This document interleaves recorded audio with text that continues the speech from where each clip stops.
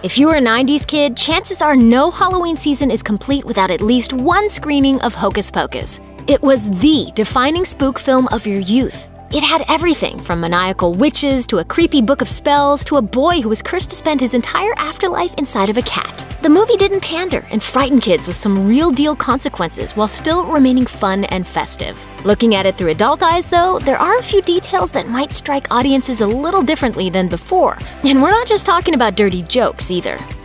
We desire children.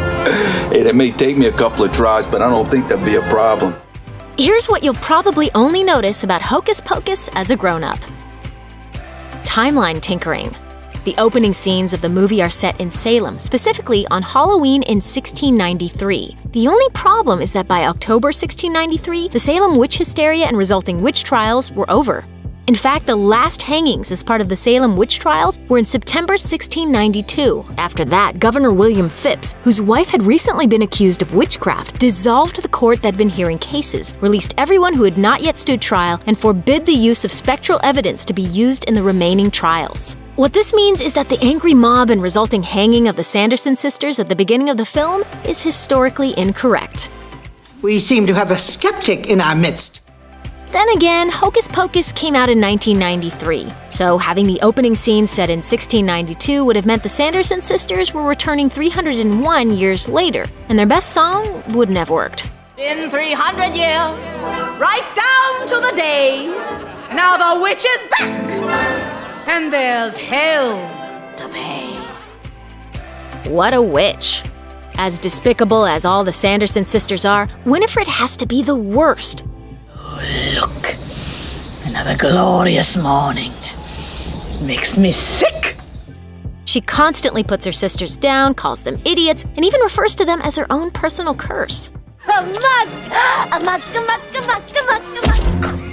It isn't just the name calling and constant diminishment and smacking of the others either. Winifred also ensures that she gets the best of everything. It's evident at the beginning of the film if you're really looking for it. She implies the potion the sisters are making is all for herself, only later suggesting she'll share it, and her sisters thereby thanking her for her generosity. Oh, Winnie, how generous of thee. Bye bye, bullies.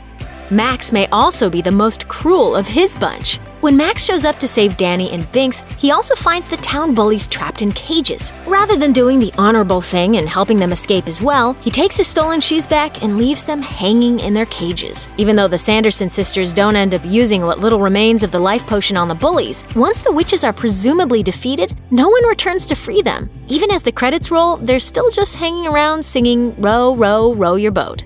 The bullies certainly earned some comeuppance for their terrible treatment of others, but being left to rot in a cage seems a little extreme.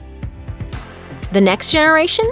When Max and Dani find themselves unexpectedly in Allison's family home on Halloween night, we see just how important her family's role is in the town, and possibly how important it has been since the 17th century.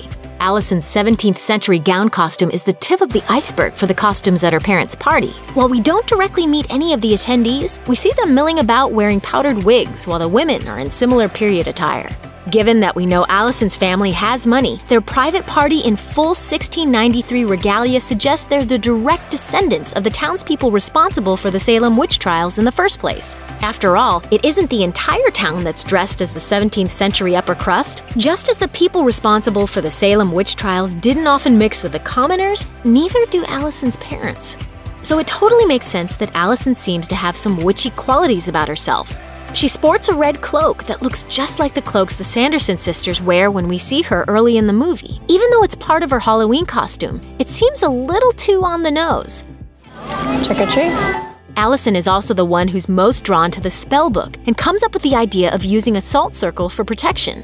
What a clever little white witch. Even though she's able to walk through the graveyard just fine, she might just be a good witch, thereby able to walk on hollowed ground. It also explains why the spellbook's eye pops back open at the end of the movie. It was always the Sanderson sisters who were needed to wake the spellbook, so it seems like the book waking up is a clear sign that the witches aren't actually gone.